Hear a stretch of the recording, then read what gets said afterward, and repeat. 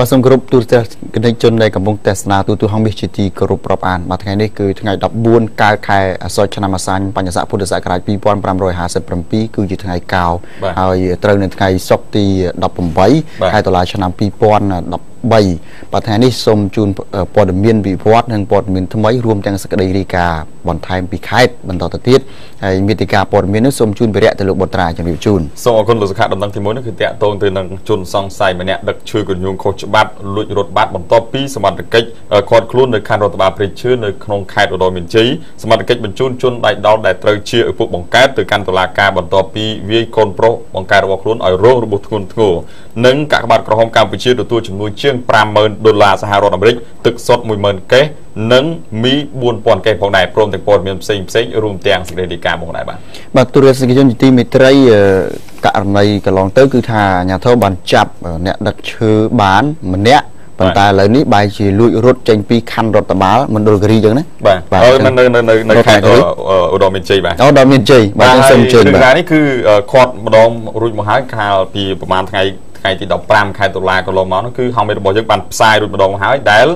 ក្នុងនោះគឺបានខាត់ខ្លួននៅជនសង្ស័យម្នាក់ដែលជាអ្នកដឹកឈើក្រញូងខុសច្បាប់ឈ្មោះថាអ៊ុំមេក្រាភេទប្រុសអាយុ17ឆ្នាំដែលមានដឹកឈើក្រញូងនៅក្នុងឡាននោះគឺមាន52ដុំស្មើនឹង400គីឡូក្រាម ហើយជនសង្ស័យនោះត្រូវបានកងរាជអាវុធហត្ថស្រុកចុងកាលខាត់ខ្លួននៅកាលពីព្រឹកថ្ងៃទី15ខែតុលាកន្លងមកនេះនៅក្នុងចំណុចភូមិព្រៃធំឃុំចុងកាលស្រុកចុងកាលពីបទដឹកឈើក្រញូងខុសច្បាប់ចំនួនដោយការរៀបរាប់ខាងលើហើយបើតាមការលើកឡើងរបស់ព្រះរាជអាជ្ញាខេត្តរតនមានជ័យបានដឹងថាជនសង្ស័យដែលបានរត់គេចខ្លួនបាត់នោះគឺបន្ទាប់ពីមូលដ្ឋានកងរាជអាវុធហត្ថស្រុកចុងកាលបញ្ជូនមកកាន់រដ្ឋបាលភេរីឈើខេត្តរតនមានជ័យដោយខាត់ខ្លួនមួយយប់រងចាំថ្ងៃទី16ដែលជាខែថ្ងៃព្រឹកឡើងនោះទើបបញ្ជូនទៅកាន់តុលាការប៉ុន្តែការធ្វើប្រហែលបណ្ដាលមកពីជនសង្ស័យមានឱកាសលួចរត់បាត់ទៅនោះគឺខណៈដែលជនសង្ស័យសុំទៅបត់ជើងបន្តិចហើយឃើញឱកាសល្អក៏ដាក់មេប្រូចបាត់ស្មោលទៅហើយតាក់ទងទៅនឹងករណីជនសង្ស័យខាងលើរត់គេចខ្លួននោះគឺបងប្អូនប្រជាពលរដ្ឋនៅក្នុង មូលដ្ឋាននោះក៏បានរិះគន់ដែរថានៅពេលដែលសមត្ថកិច្ចចាប់បានឈឺគ្រប់ករណីគឺមិនដែលឃើញប្រទះនឹងការចាប់មនុស្សបានម្ដងណាឡើយហើយបានត្រឹមតែឃើញឈឺតែប៉ុណ្ណោះហើយភាគច្រើននោះគឺជនល្មើសដឹងខ្លួនមុនរត់គេចខ្លួនបាត់សមោលបាទដោយតាមដែលចាប់បានកន្លងមក ឥឡូវចាប់បានម្នាក់ដែរលួចរត់បាត់ទៅទៀតបាត់ទៅទៀតឥឡូវចូលរឿងមួយទៀតពាក់ព័ន្ធរឿងវិវត្តថ្មីដែរគឺឪពុកកាលពីម្សិលមិញហ្នឹងបានវាយកូនឲ្យហើមពូមុខចូលមន្ទីរពេទ្យសង្គ្រោះបន្ទាន់ឥឡូវនេះថាបញ្ជូនទៅកាន់តុលាការលោកបត្រារលំអិតព័ត៌មាននេះរឿងនេះគឺតាក់ទងទៅនឹងឪពុករបស់គាត់ហ្នឹងដែលជាឪពុកបង្កើតបានវាយកូនប្រុសរបស់ខ្លួនហ្នឹងឲ្យរងរបួសធ្ងន់ធ្ងរនៅក្នុងផ្ទះរបស់ខ្លួនខណៈដែលមានបញ្ហារឿងគ្រួសារបន្តិចបន្តួចនៅពេលដែលកូនហ្នឹងត្រឡប់មកពីផឹកស្រាវិញនិយាយចំទៅផឹកស្រាវិញហើយម្ដាយហ្នឹងក៏បានប្រាប់ទៅខាងកូនប្រុសនោះថាអឺឪពុករបស់ខ្លួនមិនឲ្យឡើងលើផ្ទះនិងបាយបណ្ដេញចេញមកក្រោមផ្ទះវិញហើយអញ្ចឹងឮដូច្នេះក៏ខាងកូនហ្នឹងក៏ស្ទុះស្ទាទៅនិយាយជាមួយខាងឪពុកហ្នឹងថាយ៉ាងម៉េចយ៉ាងម៉ាបានមានដើមចោមឲ្យម៉ែហ្នឹងមកអង្គុយនៅក្រៅឬក៏មិនឲ្យឡើងលើផ្ទះ អញ្ចឹងក៏ប្រមាថ1ប៉ាត់2 2 3ម៉ាត់4ម៉ាត់5ម៉ាត់ទៅក៏បណ្ដាលឲ្យមានអំពើហិង្សាផ្ទុះអំពើហិង្សានៅក្នុងគ្រួសារនេះតែម្ដងហើយគូក៏សម្គាល់ឃើញផងដែរថាជនសង្ស័យត្រូវបានសមត្ថកិច្ចបង្ហាញឲ្យដឹងថាបានប្រាប់ឲ្យដឹងថាឈ្មោះកែវខៀងហៅឆែលអាយុ56ឆ្នាំមានប្រពន្ធឈ្មោះថាសុខាអាយុ47ឆ្នាំមានកូនប្រុស8នាក់មុខរបរជាកសិកររស់នៅក្នុងភូមិឃុំកើតហេតុខាងលើហើយនារីកូនទី4នៅក្នុងគ្រួសារដែលកំពុងថែទាំបងប្រុសនៅក្នុងមន្ទីរពេទ្យខេត្តនោះគឺបានដឹងថានៅថ្ងៃទី17ខែតុលាកន្លងមកហ្នឹងឪពុករបស់នាងសវឹងស្រាស្ទើរតែរាល់ថ្ងៃមិនដែលលួសថ្ងៃម្ដងណាលើឡើយហើយគាត់ធ្លាប់បានវាយបងស្រីរបស់នាងហ្នឹងនៅក្នុងមួយខ្នងពូថៅបានឲ្យបាក់ចឹងខ្នងទៀតហើយក្រោយមកក៏បានវាយម្ដាយរបស់នាងឲ្យរងរបួសសន្លប់ស្រុកស្អឹងជាច្រើនលើកច្រើនសារផងនឹងត្រូវបានសមត្ថកិច្ចនាំយកទៅ អប់រំពមៀនម្ដងទៅពីរដងរួចមកហើយប៉ុន្តែរូបគាត់គឺមិនដែលរឿងចាលទេឲ្យទៅសវណ្ណគឺចាប់ផ្ដើមធ្វើអំពើហិង្សានិងទៅលើក្រុមគ្រួសារគ្រប់ពេលវេលាហើយបច្ចុប្បន្នជនដៃដល់ត្រូវខាងសមត្ថកិច្ចបញ្ជូនទៅកាន់តុលាការដើម្បីចាត់ការទៅតាមនីតិវិធីបន្តទៀតបាទបាទ យើងមិនទាន់ដឹងនៅឡើយថាតើតុលាការនឹងចោទប្រកាន់ពីបទអ្វីចំពោះជនសង្ស័យដែលប្រព្រឹត្តអំពើទៅលើកូនមកកើតរបស់ខ្លួននោះទេប៉ុន្តែអសនដូចជាគេដាក់ថាម៉េចបាទកែឆែអត់ទេចង់និយាយពីបទល្មើសវិញបាទមើលមើលឃើញហឹង្សាហើយហឹង្សាដោយចេតនានៅក្នុងក្រមព្រំព្រៀងឆ្នាំ2009ដូចខ្ញុំនិយាយកាលពីម្សិលមិញអញ្ចឹងឥឡូវយើងចូលរឿងមួយទៀតពាក់ព័ន្ធទៅនឹងរឿងដីការបស់តុលាការនៅខេត្តបរសៃអនុលោកបុត្រាគឺថាប្រជាពលរដ្ឋចំនួន88គ្រួសារ